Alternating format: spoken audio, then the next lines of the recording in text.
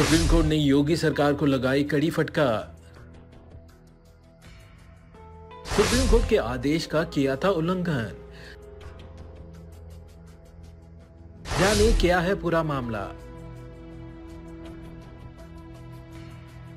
मुजफ्फरनगर के चर्चित थप्पड़ कांड को लेकर सुप्रीम कोर्ट ने उत्तर प्रदेश की योगी सरकार को कड़ी फटकार लगाई है। शीर्ष अदालत ने मुस्लिम छात्र को कथित देरी को लेकर यह लताड़ लगाई है, जस्टिस अबेएस ओ का और जस्टिस उज्जवल भुइया की बेंच ने कहा कि उत्तर प्रदेश सरकार ने कोर्ट के निर्देशों का पूरी तरह से उल्लंघन किया है।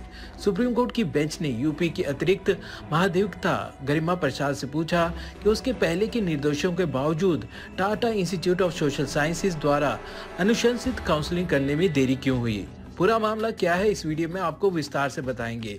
लेकिन उससे पहले आप बताएँ, क्या सुप्रीम कोर्ट के निशाने पर सिर्फ़ बीजेपी सरकारें हैं? और हाँ सच्ची और निष्पक्ष खबरों के लिए एम इंडिया चैनल को सब्सक्राइब ज़रूर कर लें।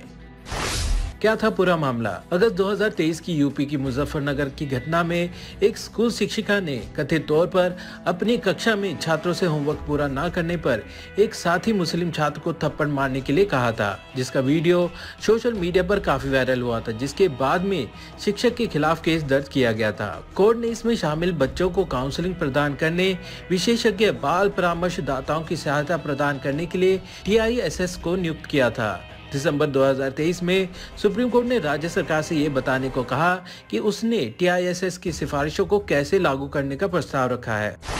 सुप्रीम कोर्ट ने योगी सरकार को लगाई कड़ी फटकार। इस, इसके बाद शुक्रवार को राज्य के जवाब पर गौर करने के बाद पीठ ने कहा कि इससे पता चलता है कि काउंसलिंग प्रक्रिया अभी तक पूरी नहीं हुई है। जस्टिस ओका ने कहा, टीआईएसएस सुझाव देता है उन्हें किस तरह से परामर्श दिया जाएगा।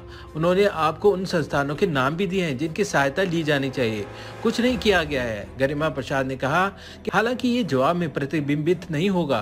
प्रक्रिया शुरू हो गई है। कोर्ट ने निर्देश दिया कि उसके निर्देशों को लागू किया जाना चाहिए और राज्य से अनुपालन रिपोर्ट मांगी है। फ़िलहाल इस मामले में सुप्रीम कोर्ट एक मार्च को फिर से सुनवाई करेगा।